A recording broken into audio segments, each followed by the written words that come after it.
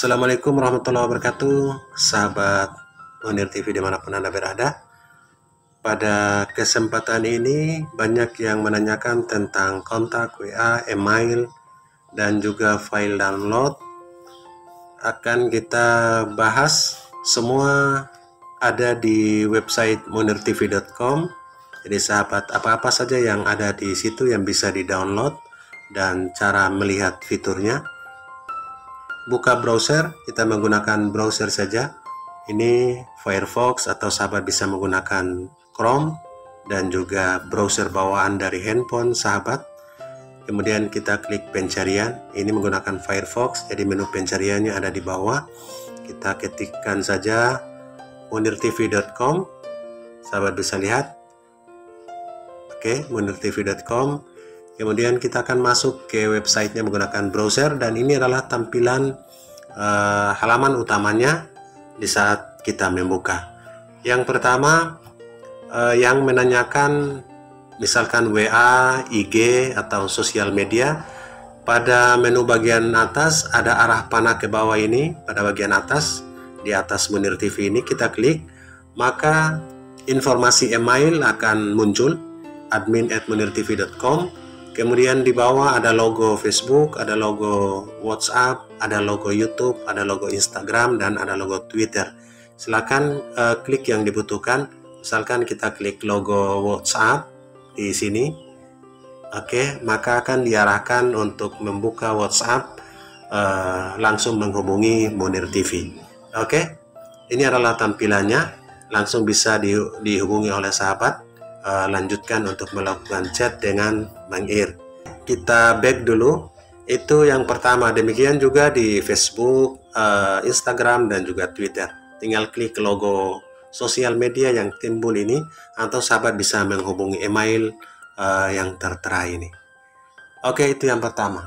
Untuk melihat sosial media atau kontak yang sahabat bisa hubungi.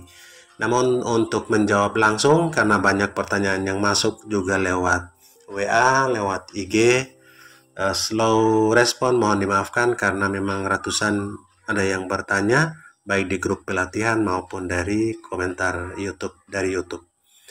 Kemudian yang berikut adalah jika sahabat melihat file-file download yang sudah ada di website munirtv.com ini. Kita klik yang ada uh, garis tiga ini kita klik untuk melihat detail menunya. Di sini ada menu home blog NLP relax kemudian menu belanja dan juga download. Yang pertama untuk belanja ini semua device router maupun access point mikrotik semua device wireless router ada di sini yang uh, sering direkomendasikan sehingga tidak berulang-ulang untuk diposting sahabat bisa langsung lihat di menu belanja. Nah eh, jika loading agak lambat karena pengaruh iklan ini adalah menu belanja. Sahabat bisa scroll ke bawah. Di sini silahkan pilih dan ini link uh, rekomendasi untuk ke marketplace Shopee. Jadi bukan untuk ke oh, Bang Ir akan tetapi ke toko-toko tertentu yang sering dipakai untuk kita belanja baik online maupun offline. Oke, ada paket RT RW Net. Jadi jika sahabat mengklik gambar ini, tinggal klik saja gambar yang muncul ini. Misalkan di sini Orbit Pro H1, kita klik maka akan dialihkan ke uh, Shopee dan silakan. Oke, klik balik seperti ini dan langsung klik buka. Buka jika aplikasi Shopee sahabat sudah terdownload. Oke, sahabat, ini adalah halaman belanja. Jadi bukan belanja ke Munir TV akan tetapi belanja sesuai dengan pilihan Anda di toko yang ada di Shopee yang sering dipakai oleh uh, Munir TV untuk belanja buat pelanggan. Ini ada paket yang sangat terlaris dan juga terpopuler, ada paket-paket yang sering digunakan. Bisa di menu belanja. Oke, kita balik lagi. Oke, sahabat, di menu yang berikut kita klik lagi menu download.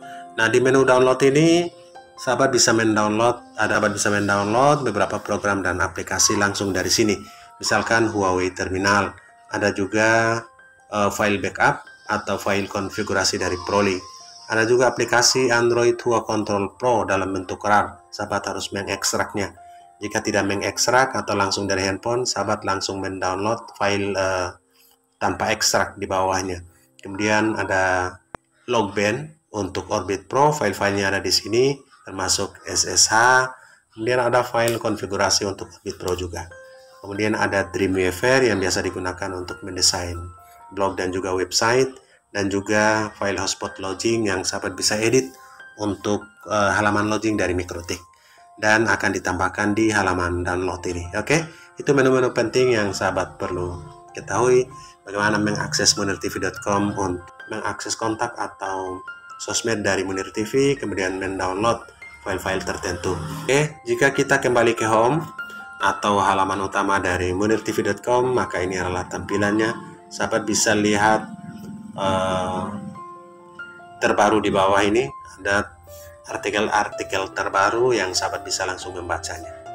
Oke sahabatir itulah informasi bagaimana mendapatkan logo sosmed di website munirtv.com uh, email WA, Instagram, dan juga lain-lain sebagainya termasuk channel YouTube juga bisa diakses langsung dari munirtv.com kemudian bagaimana melihat rekomendasi device yang sering direkomendasikan oleh Munir TV kemudian mendownload file-file yang dibutuhkan juga. Semoga bermanfaat.